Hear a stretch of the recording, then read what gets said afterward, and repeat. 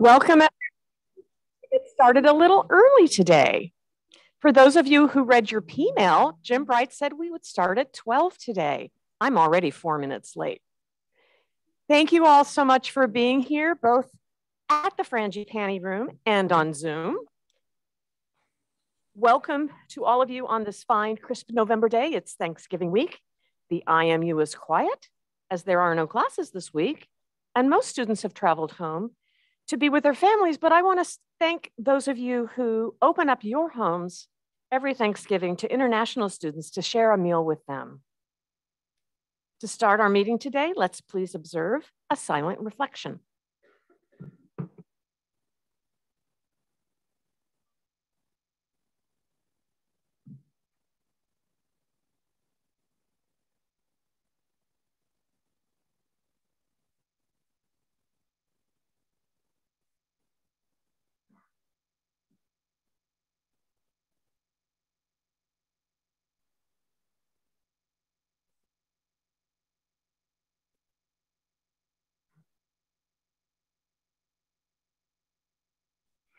Thank you. You can be seated.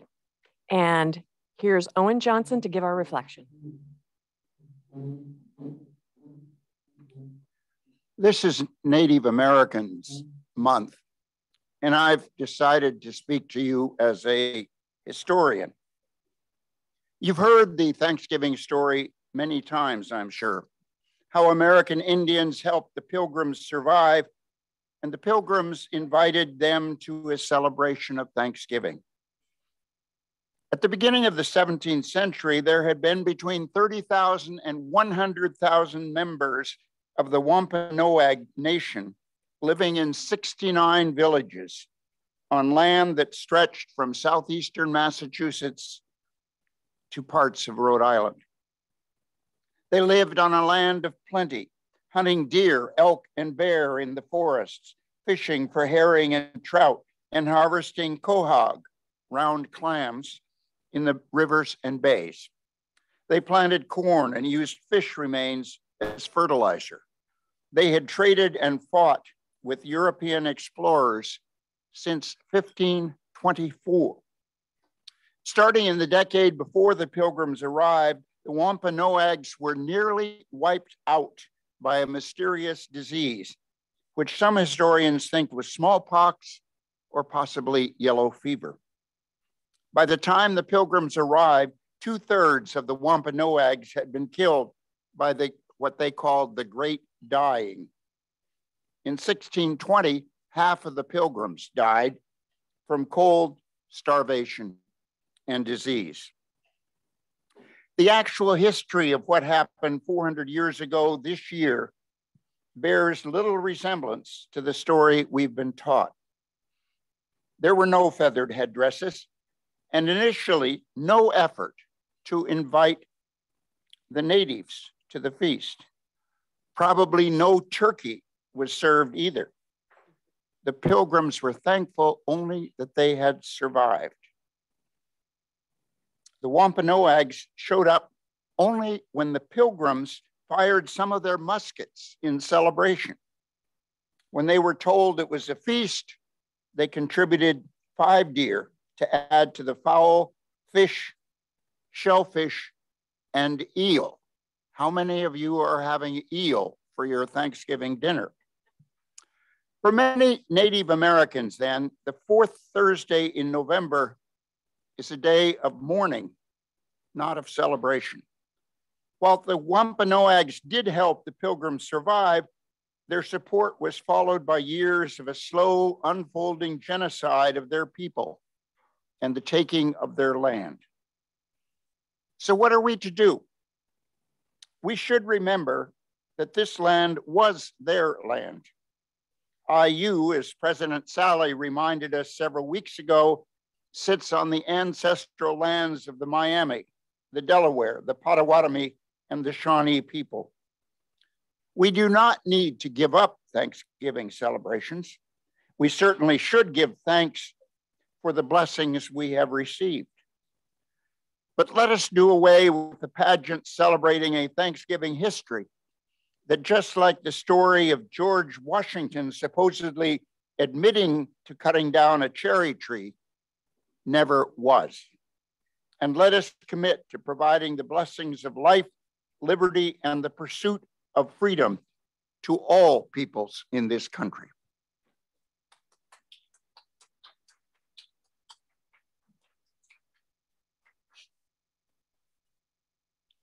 Thank you, Owen. So I have thank yous. Um, Dave Myers sitting up here by himself. He's our producer today. Michael Shermis did show up as 1030 as usual, just in case. Um, thank you to our Zoom manager, Joy Harder, and to our remote and camera, to our remote camera and mic operators, Martha Foster and Aaron Davis. Um, thank you to Owen for that reflection.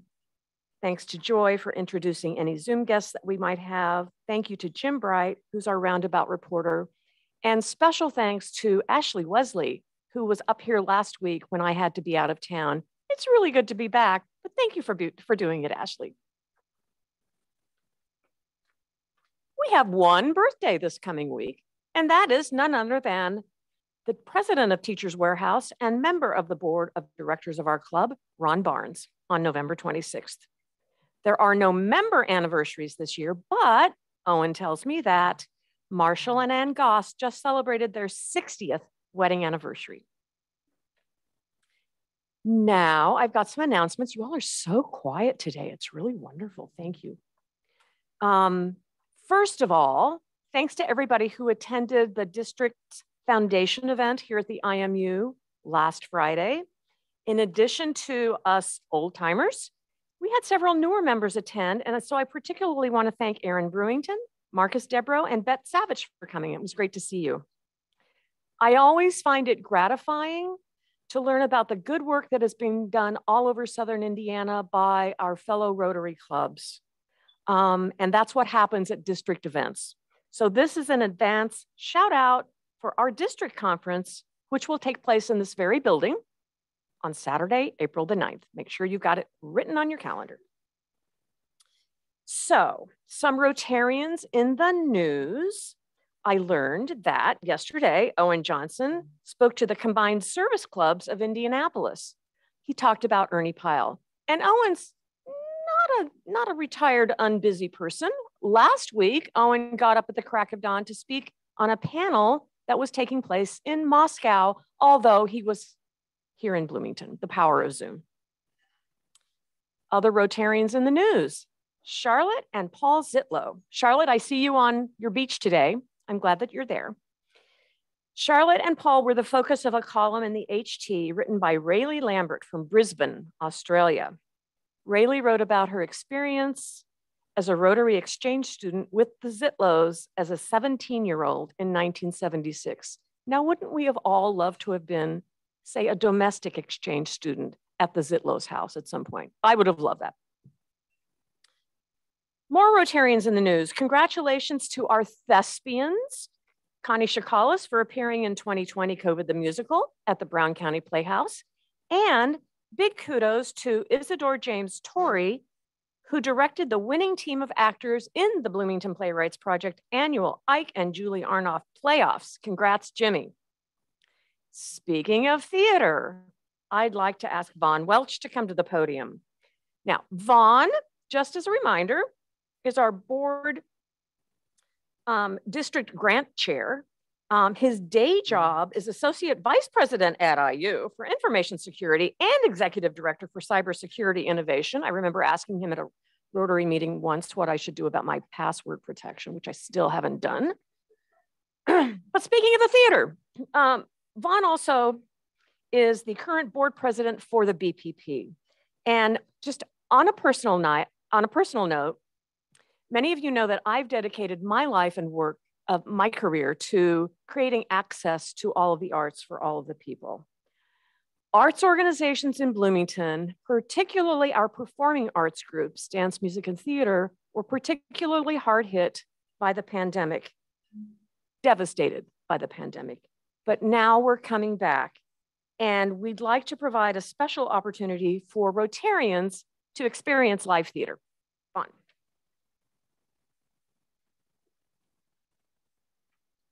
Uh, thank you so much, Sally, and please do change those passwords. Um, so as Sally mentioned, I'm Vaughn Welch, and I'm here speaking to you today as the president of the Bloomington Playwrights Project Board. For those of you not familiar with BPP, it is the theater in town dedicated to new works that you have not seen produced anywhere else. And as Sally mentioned, we have our first live show since the start of the pandemic uh, happening in December. This show is just between the all of us, a romantic, select your own adventure musical comedy.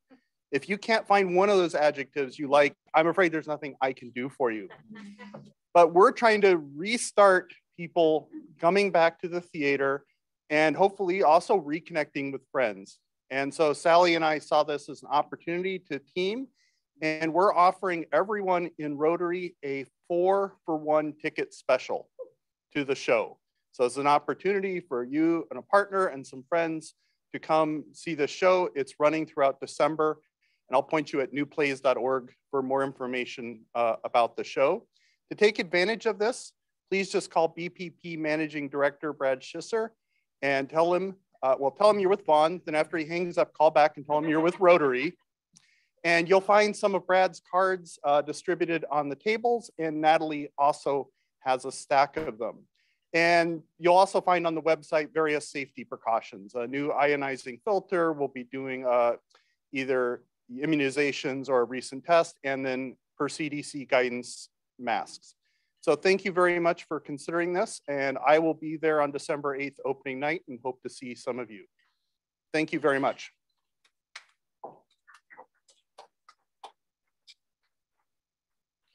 Those BPP folks have really odd senses of humor. So um, that's what that whole thing about Brad and Vaughn calling back was about. Um, I hope to see you there as well. I'm going on December 16th. Now, um, I forgot to introduce our guests. I have a tendency to do this. I need someone to remind me. We have two guests here in the Frangipani today. First, Josh Johnson is a guest of Aaron Brewington. Josh, will you stand up? Great to see you again. MNMW Productions is his business. And Tim, I cannot read the writing, the handwriting of the name of your guest. Bob Bernacki. Welcome, Bob. I got I got the first name, just not the last name please come back. I don't think there are any guests on Zoom today. Is that right, Joy? That is correct, Sally, other than our guest speaker is with us on Zoom. So, yes. Well, there is that. Yes. Okay. there is that. Another first for Bloomington Rotary. Our speaker today will be coming to us on Zoom. Yes. Okay. Um, I've got a few more important announcements, which is partially why we started so early today. In the spirit of Thanksgiving, I want to share some notes of gratitude that we received recently as a club. First, from Pantry 279, which was the first quarter recipient of our speaker recognition program. That's when we draw the name of a local nonprofit out of a hat and then give them a small gift at the end of the quarter. So, from Juanita Hoffman, the assistant director of Pantry 279, Thank you for supporting us as we continue to try to help those in need. It is our mission to help anyone who contacts us to find food, hope, and help that they need. This is another challenging year for our Thanksgiving baskets. We provide the items for preparation for a complete Thanksgiving Day celebration. Thank you, Rotarians, for your efforts in helping provide help to others. She goes on to say that they're searching for a new location. I'm assuming in Ellettsville, though I'm not uh, sure about that. If any of us have clues to a place that they can um, move their services, please let them know. So first that, small gifts, it's $100. Small gifts go a mm-hmm. long way to local groups. Second, this is really big. I have thank you letters in hand from the three recipients of our annual Ivy Tech Bloomington Scholarship Program. Our club awards three $500 scholarships at Ivy Tech Bloomington's campus each year, all in the fall term. Recipients are selected by an internal Ivy Tech committee, which includes representation from financial aid, academic affairs, and student development. An eligible candidate must have a cumulative GPA of 3.0 or greater, be enrolled as a full-time student at Ivy Tech Bloomington, have a current FAFSA on file with the Office of Financial Aid. Therefore, we know that there is financial need. Have completed at least 12 credit hours in their chosen academic program, complete a 750 word essay addressing their careers, uh, their career aspirations, graduation plans, and involvement in any civic engagement, and of course, obtain a letter of recommendation from a faculty member in their academic program. So these letters are amazing.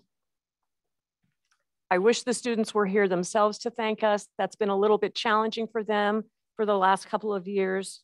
So that's why we've got their thank you letters instead. The first one is from Rafael Ramirez. Thank you for the very generous scholarship of $500. I am a general studies major right now at Ivy Tech, but I plan to transfer to Indiana University and major in economics and mathematics with an emphasis in econ law. I'm currently a sophomore with 18 credit hours this semester and 21 credit hours next semester to conclude my studies at Ivy Tech, graduate, and then transfer to IU. Thank you to this general scholarship I received. Thanks to this general scholarship I received, I'm one step closer to achieving my goal by removing some of the financial burden and allowing me to focus on stuff that is more important, like school. My goal is to one day help students with a big financial burden help achieve their dreams of higher education and seeking improvement. Thank you from the bottom of my heart, Rafael Ramirez. Our other two, um, I believe are both enrolled in the nursing program. First, we have Laura Beth Wayne. Dear Bloomington Rotary Club, thank you so much for the scholarship. I was happy and appreciative to learn that I was selected. I am just beginning my journey into a second career in nursing. I was a teacher for 15 years and switching careers has been a leap of faith. I am excited to be going back to school at Ivy Tech, where I truly believe I will be supported throughout the next few years as I become a nurse. I'm a mother of two younger children and have eliminated my income to go back to school. The scholarship will help me greatly to pay for school. The scholarship will allow me to focus on my education and get started on my new career and educational path. I appreciate the scholarship deeply. I commit to working hard and being a strong and committed student. Your generosity will not be forgotten. That's Laura Beth Wayne of Bloomington. And finally, we have Carrie Biddle of Bloomington. Dear Bloomington Rotary, thank you so much. I am extremely grateful and humbled to be a recipient of your scholarship. I am currently in my third semester in the ASN program at Ivy Tech Bloomington. When I started my journey at Ivy Tech, I wasn't sure that I was capable of succeeding, and to be honest, it was scary. I have watched myself succeed more than I thought possible. I am on track to graduate May 2022 and am now looking at transferring after graduation in order to obtain my bachelor's in nursing. I have not only shown myself that I am beyond capable of succeeding, but I've also shown my children that hard work pays off. Without your generosity, I would not be able to support my family while also attending school. It has reduced my stress level, knowing that I am able to better provide for both myself and children while focusing on my academic responsibilities. I'm so grateful for the generosity shown to me through scholarships that I have been inspired to help others in such ways as peer mentorships. I've been shown that higher education is always achievable, and I'm forever thankful for the tremendous support from my community. Thank you. That's Carrie Biddle. So that's our three scholarship recipients from Ivy Tech Bloomington for this year. Wow.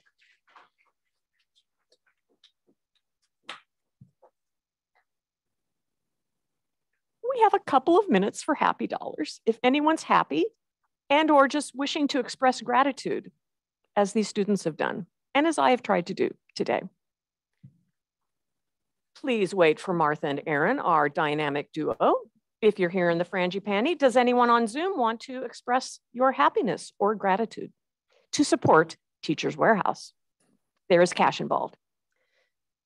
Yes, I am very happy for the occasion of Thanksgiving as well as the family gathering, since my daughter and her family coming to spend a few days with us. And very, very happy to let the crowd know that my granddaughter has been accepted to the Kelley School of Business for the coming year. So I'm delighted for all the above. I'll give $20 to the teacher warehouse. Thank you, Raj. And we hope that your daughter's coming to IU will mean that we get to see you in person, maybe. Well, she is my granddaughter. My daughter has graduated oh, years ago. in any case, it's a great occasion. I'm sitting with a beautiful fall color around me, blue sky, we are very delighted and happy folks in this house. Wonderful. Steve Engel. Well, I'm uh, pretty happy because uh, all four of my grandchildren are going to be here for Christmas and they live on neither coast, two on the West Coast, two on the East Coast. So it's a big deal for me and I'm just really grateful about it. Happy. Congrats and thanks for your donation to Teachers Warehouse. Anybody else in the room? We've got Steve Moverly in the back. Wait for the mic.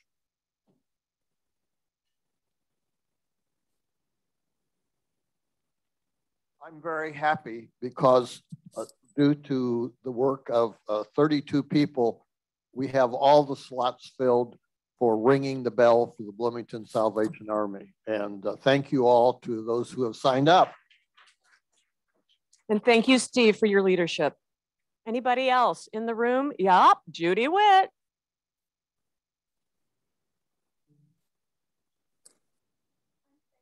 By tomorrow, I should have a new living room ceiling. Ooh, that sounds bad. Thanks, Judy. Anybody else on Zoom who's happy? I'm yeah. going to jump in here. Yes. Hi, everybody. I just want to say I'm very, I'm very happy not to be teaching today which means that I'm able to join you. Um, and I'm also very happy to be joining you all the way from New York. I'm here for the week visiting uh, my parents in law, and we will all be together for the Thanksgiving break. So just I'm very, very grateful to everything. And thanks to the amazing team, Michael Shermis, and everybody else for making it possible for me to join you. Thanks, Alan. It's great to see you on a Tuesday. I can't wait till the semester's over. We've got one more. Is it Ashley? Yes. Alon took mine. Um, I just wanted to give a grateful note to our team that works really hard to make this possible. And Michael, especially, I see him over there working hard. He's off duty, but still on duty. So he's always you. working. Thank you to everyone that makes this these meetings possible. I know a lot goes uh, behind the scenes, so huge shout out. Yeah, thank you, Ashley. And we've got a hijack for one more. Yes, absolutely. I am trying hard. Well, let's see. Would that be Martha Foster? Yeah, that would be Martha Foster and Aaron Davis. Um, and we're very grateful to announce that Thursday is a big holiday, which is our 10th anniversary. Aww. And we appreciate everyone thinking of us Thursday. And we'll have family members in from three states. So, uh, congrats. Um, sorry, the, yeah, oh, there we sort of are. sorry, trying to do I remember when you all were newlyweds, and look at you now, 10 years in. Charlotte has a happy dollar. That's the last one, folks. Charlotte. Charlotte, you're on mute.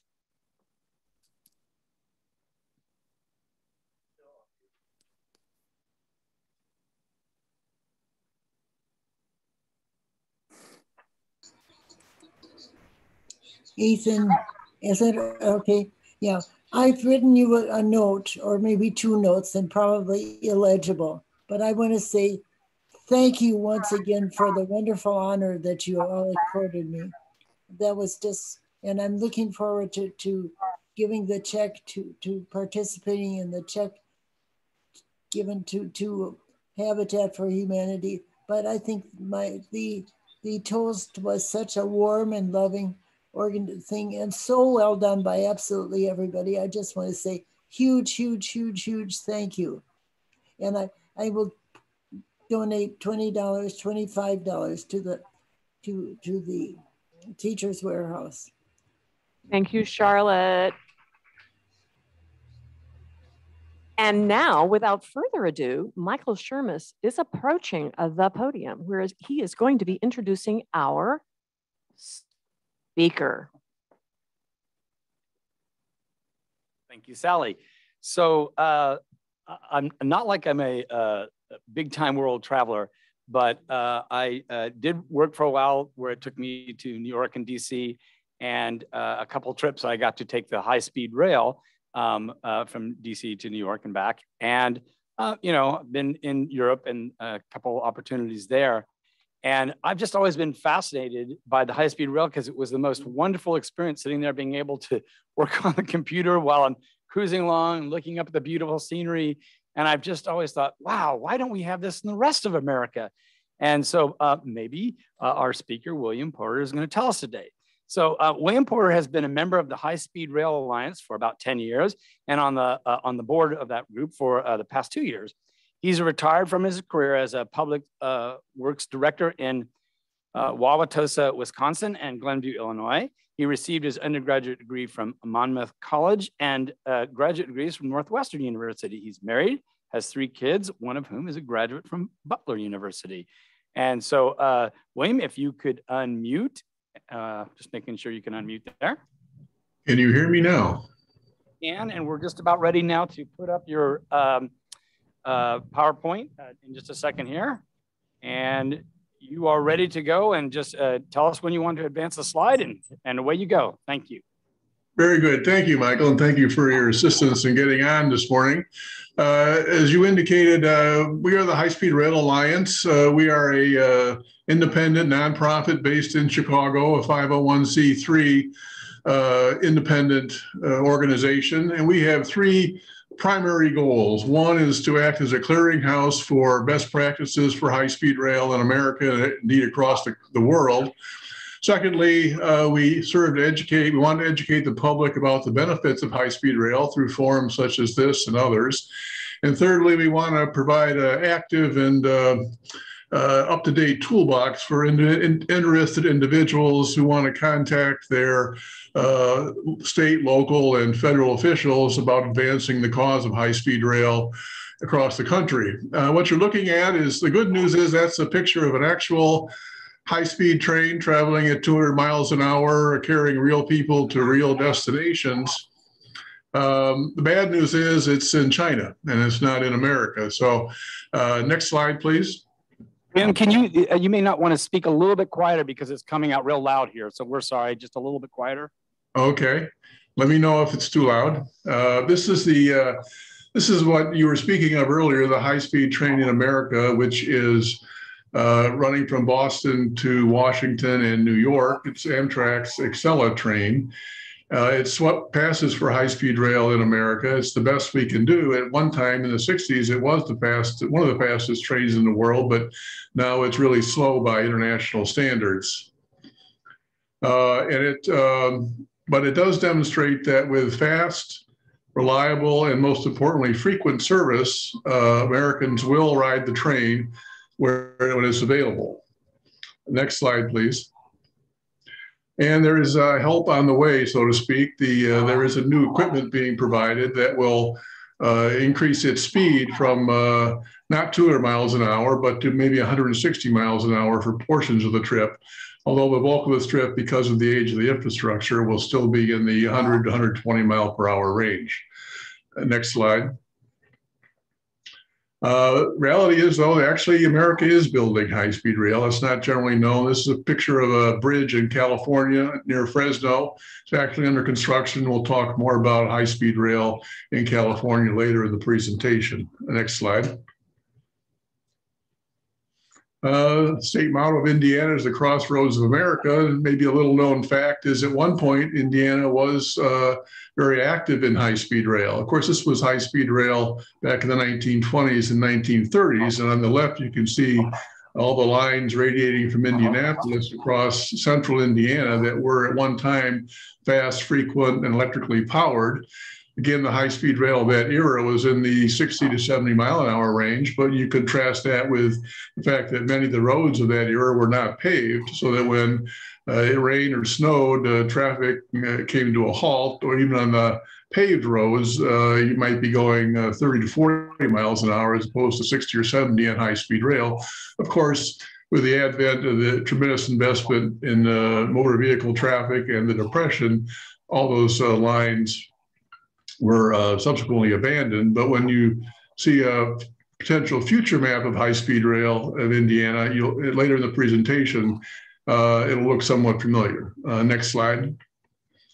The reality is uh, Indiana is not known for actively supporting passenger rail, but where it does make sense and where uh, policymakers think there is a return on investment, uh, there is support for passenger rail. This is the new Michigan City station that's under construction right now in Indiana as part of the South Shore Line that runs from Chicago through Michigan City and Gary to South Bend.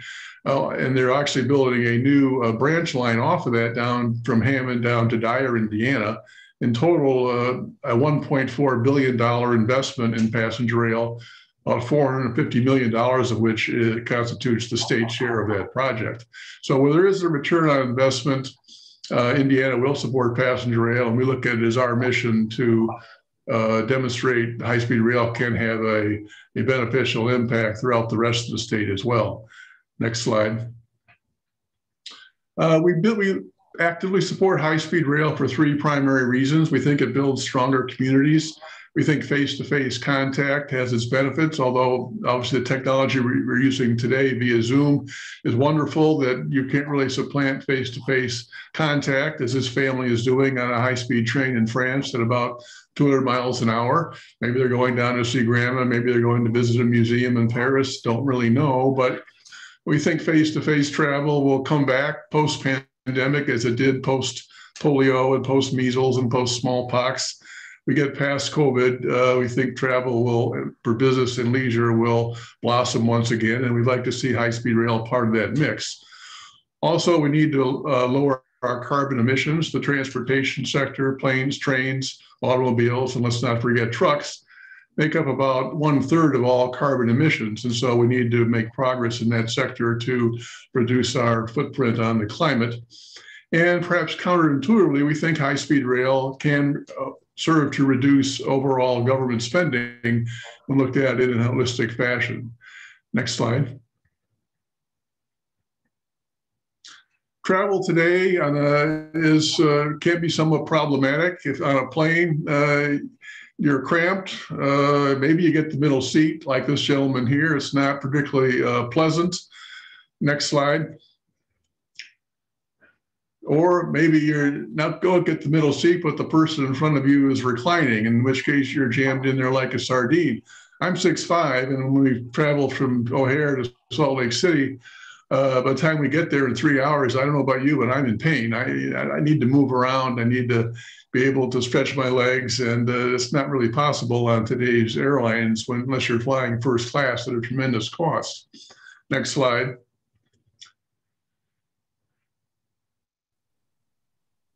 The other option is driving. Some people find driving relaxing. You know, I don't. Uh, a little over a year ago, I was sitting at a stoplight and got T-boned by a driver who lost uh, control uh, were it not for airbags, I'd be walking kind of funny today. So I don't really relax when I'm driving. Of course, not all driving is on roads like this, but much of it is, especially in urban areas. Uh, reality is uh, we're on pace for over 42,000 fatalities driving this year, two and a half million people injured. And that's just the, the physical impact. The fiscal impact is you know, all the land under those highways. It's not on the tax rolls. And of course, the carbon footprint. So is there another way to travel? Uh, should be part of the mix. Uh, we think there is. The next slide. Uh, this is actually a, a, new train car that's going in service on a privately run passenger line that's being is in operation today from Miami north to West Palm Beach. Uh, you can you see the seats. You can recline, plenty of leg room. You can plug in your electronic devices. Big window. Uh, get up, move around when you want. You don't need to wear a seatbelt. Some of the seats have tables, some don't. And of course, using Amtrak today, you can even have a private compartment if you want. So there are options to uh, be able to travel in more comfort. And we think high speed rail in that, uh, you know, four to 600 mile an hour niche can be part of the mix in, in an environmentally responsible manner. Next slide. And of course, uh, I said you can move around. This is the TGV in France. Uh, uh, the lounge car, people are standing around. They're not hanging out for dear life as you do on some Amtrak trains today. The track is maintained to very rigid standards. Uh, so you can have a drink, go to the lounge car, go to the bathroom when you need to. Of course, there are no guardrails around the food and drinks because it's a very smooth ride and you can relax and enjoy yourself and still get to your destination at over 200 miles an hour. It's, it's doable in today's environment. Next slide. Question we get is, well, how do you make that happen? And we support the what we call the integrated network approach, whereas you would build possibly a new high-speed rail built to exacting standards in the countryside. But the question we get is, well, how are you going to get into the cities? Are you going to hack your way through the cities like we did with the interstate uh, highway system? Uh, we think there's a better way, and uh, we'll demonstrate that in a couple minutes. Next slide. I mentioned that, well, how did the interstate highway system get through the cities? Well, those of us of a certain age might remember a book called The Power Broker. It was published in the 1970s. It won a Pulitzer Prize, and one of the chapters in that book was entitled The Meat Axe, and that's was a description an engineer used of how they built the Cross Bronx Freeway through a heavily built up section of the Bronx. And here's a picture of that. And on one hand, it's a tremendous engineering feat. Think of all the steam, gas, electric, telephone uh, lines that had to be rerouted. You had to maintain existing highways and overpasses and railroads. You had to go over subway systems that couldn't be disturbed. It was a tremendous accomplishment, but it came at a huge environmental cost. Next slide. This was the finished product, and as you can see, it's more or less a scar on the landscape. Actually, what they did was they took out Tremont Street. This neighborhood was once the home of many of the garment workers in New York uh, industry not known for high wages, but the apartment buildings were well maintained. They had superintendents who took care of little things before they became big things. Uh, but they took out the street. They took out the urban fabric, the delicatessen, the, uh, the tavern, the restaurant, the grocery store, the hardware store, the dry cleaners. All that went away, and the neighborhood still suffers today from urban blight as a result of the highway. So are we going to replicate that story to get high-speed rail into the center of Indianapolis or Chicago? We think there's a better way. Uh, next slide. A couple methods. One is uh, actually uh, railroad mileage in America peaked in 1918. There were 240,000 miles railways. Now we're down to 140,000 miles. And many of those old right of ways have been sold off, paved over, redeveloped, but some are still there. This is actually an abandoned right of way in the south side of Chicago that runs down through into, into Indiana.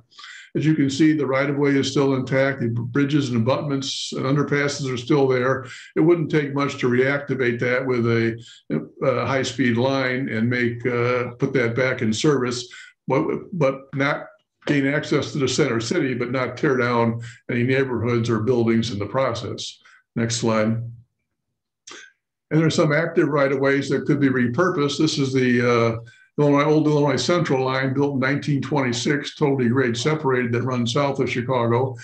And at the time, back in the 1920s, Chicago was a center of Chicago was a manufacturing and warehousing powerhouse.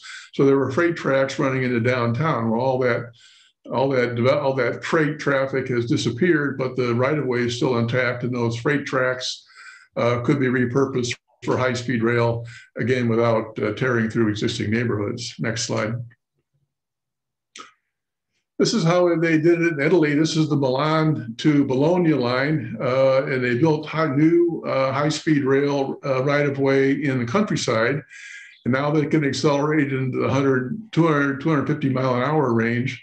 What they did is they built it alongside the Autostrada or Italy's interstate highway system and it was all, all new uh, right of way. They just extended the bridges over the, uh, we're going over the expressway over the uh, railroad right of way.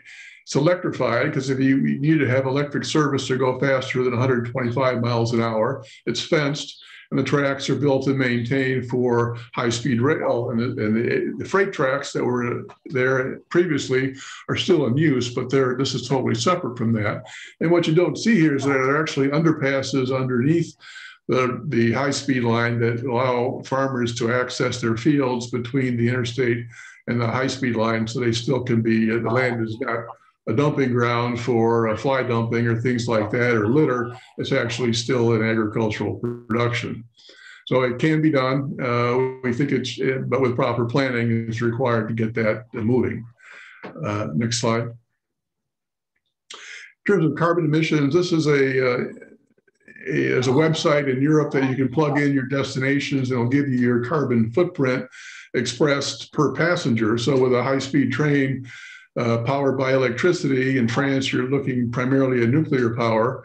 So the carbon footprint is very low on a per passenger basis as compared to uh, an airplane, of course, or a, a, single passenger car.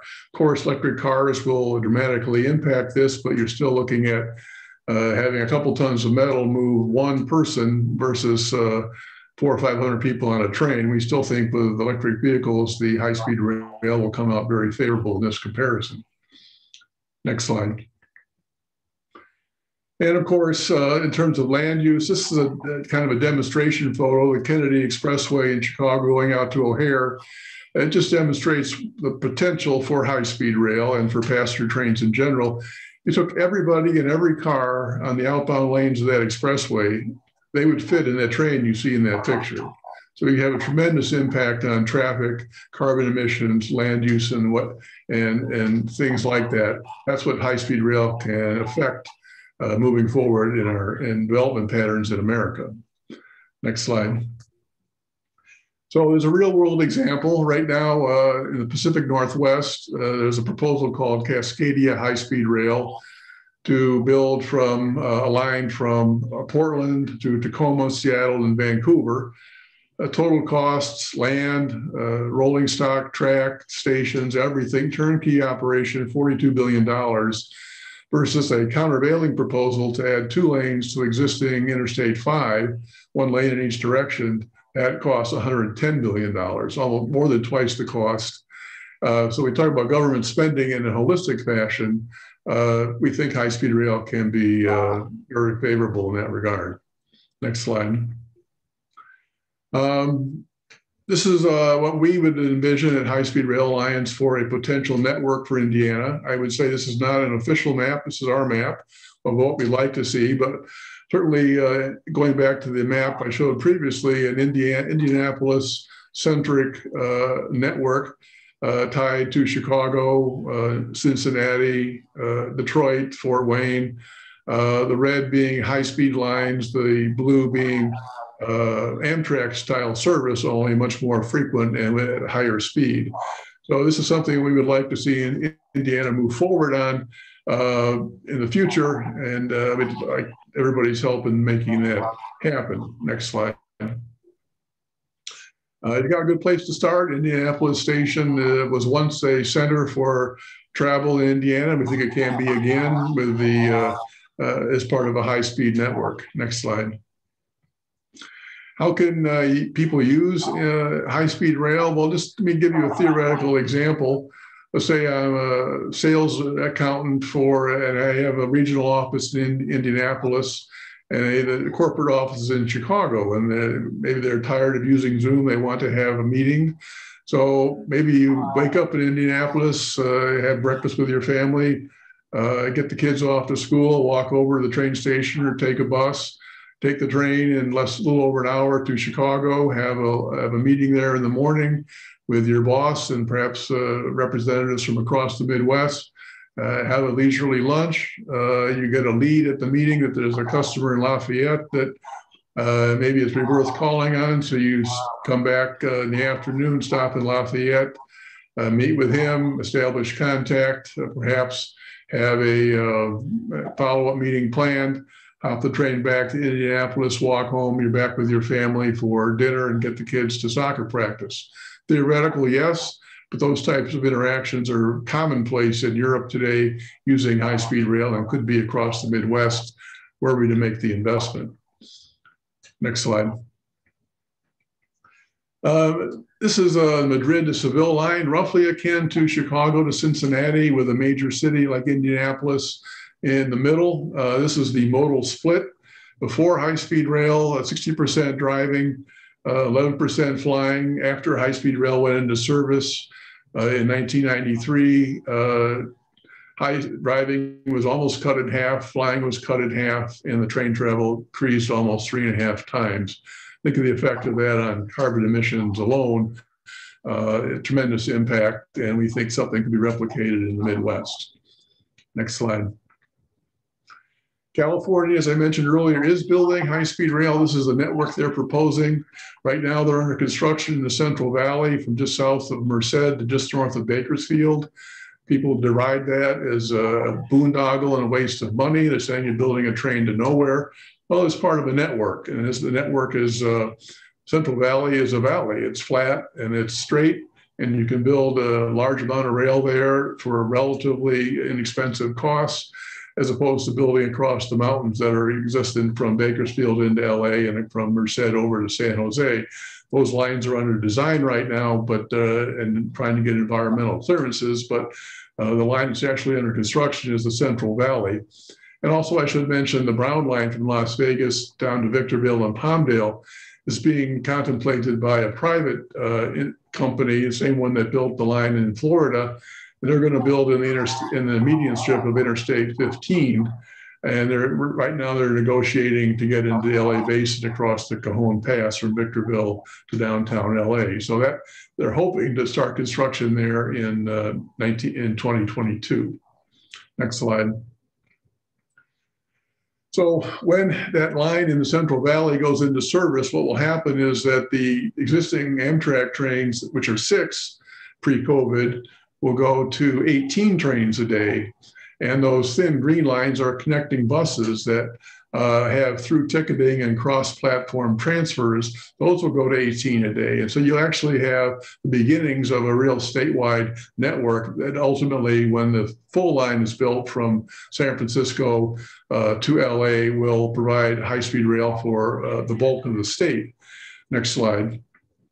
And what that does in terms of uh, boosting volume. Uh, with the high speed rail, ridership will double.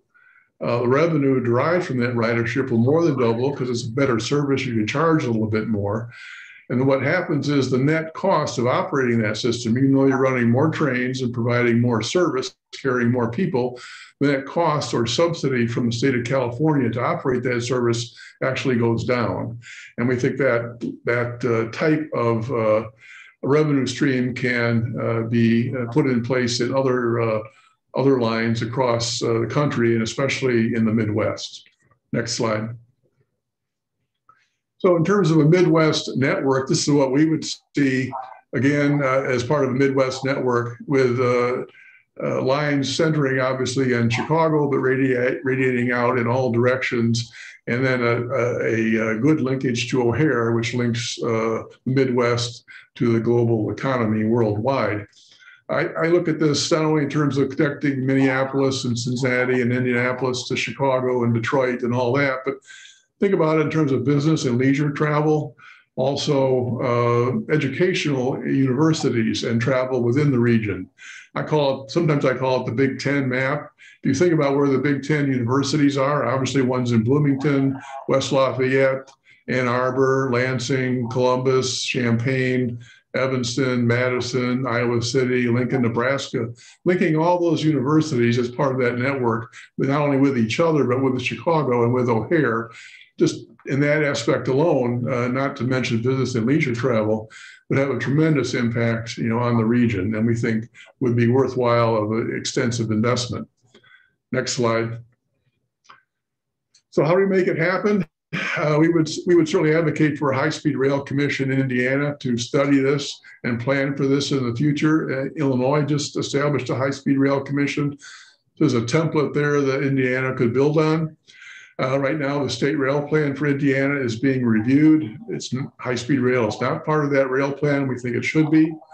Uh, and then I think that commission should work to put together a uh, integrated plan, as I spoke of earlier, for not only Indiana, but for the Midwest.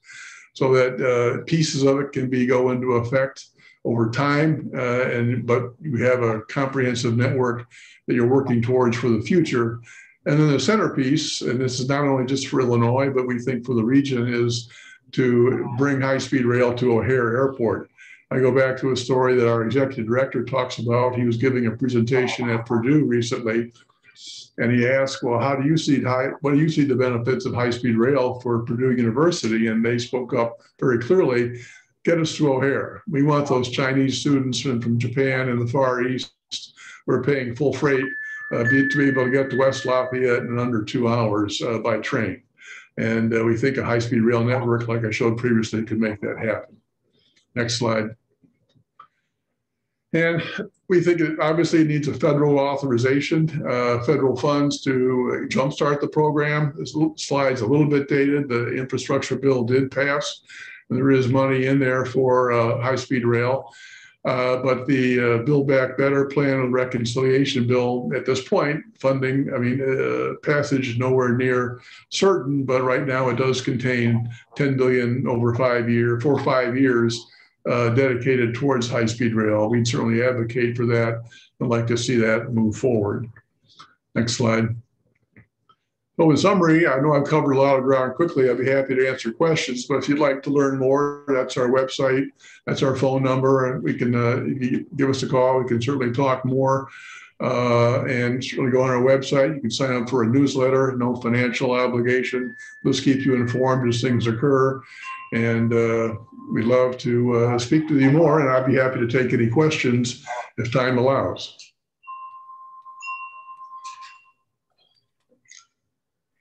William, thank you so much for that incredible presentation and depth of information. We have questions here in the Frangipani or on Zoom. Um, Owen has a question. Martha and Aaron are on their way. Do we have a question on Zoom prior? Not? No. Owen, go for it. Um, I'm going to, I've ridden high speed rail. I went from Osaka to Tokyo. So I uh, have experience uh, with the benefits. Um, but I want to play devil's advocate. There are two groups very vocal that I would see opposing what you do, not in the detail, but they would just say the airlines are going to lose all of these jobs and people are going to be out of work. So that's one thing. The second thing is, you know, railroads in the late 19th and early 20th century they determined which towns would live and die. The system that you're talking about hits the larger cities, but the small towns, um, Cary, Illinois, Spencer, Indiana, they're not going to get this. And yet they're going to say, we have to pay for this? Hmm. Well, in terms of airlines, um, you know, I, I my previous career as a public works director, I, mean, I went to I went to a seminar once. And they talked about uh, one of the seminar sessions was on air, airport management and airlines economics, and they said that the two things you worry about with an airline are terminal space and landing slots. And the runway doesn't care if the plane is landing from Frankfurt, Germany, or Osaka, Japan, or Indianapolis, or Cincinnati, or Milwaukee, or Chicago, or uh, Detroit. And so what's actually happening in Europe these days in terms of carbon emissions is that in areas where there are high-speed rail trains within the country, say from Berlin to Munich or Berlin to Hamburg, they're actually truncating the, eliminating the air traffic between those cities and concentrating on high-speed rail, not only for carbon emissions, but because they want to free up those landing slots and that terminal space for the for the traffic that's coming from overseas. This is a global economy. It will rebound someday.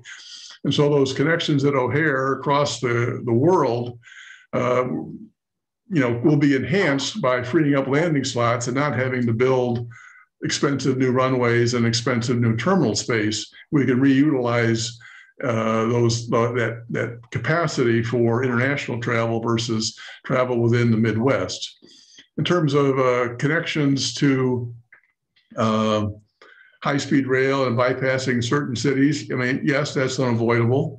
Uh, but uh, we think there should be, as California is doing, a robust uh, bus network that would tie in certain cities like uh, Muncie to Indianapolis, or uh, we'd see rail service to Bloomington or uh, Greensburg or uh, Elkhart or Fort Wayne or other cities that would tie in to a high-speed rail network uh, located in Indianapolis or in Fort Wayne or in Louisville or things like that. So I guess there are always winners and losers, but the fact is the train does go through many of these communities and with proper infrastructure can have both express trains that may run nonstop, say Chicago to Indianapolis, but could have local service that makes the stop in Rensselaer and Lafayette uh, and, uh, and Hammond and, and, along the way to link people in uh, to an overall network. So I would agree that there are winners and losers in every uh, infrastructure investment, but there are ways to mitigate it, we think, with high speed rail. Obviously, if you're on a plane, you're not stopping in Rensselaer or Lafayette. You're going from uh, Cincinnati, Chicago, or Indianapolis to Chicago. You're not making that connection. You don't have that option. Thank you. Charlotte Zietlow, you have a question on Zoom. Please unmute.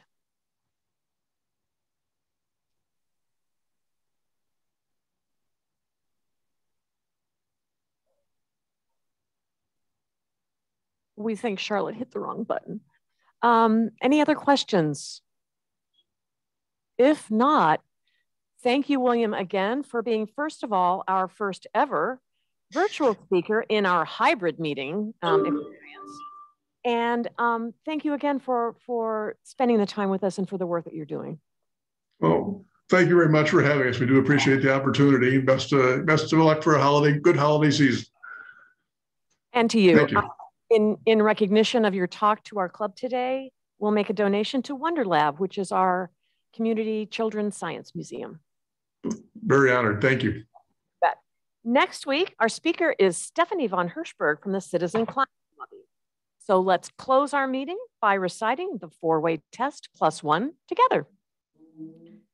Of the things we think, say, or do, first. Second, is it fair to all concerned? Third, will it build goodwill and better friendships? Fourth, will it be beneficial to all concerned? And fifth, is it fun? Thank you. Have a wonderful Thanksgiving. Bye bye.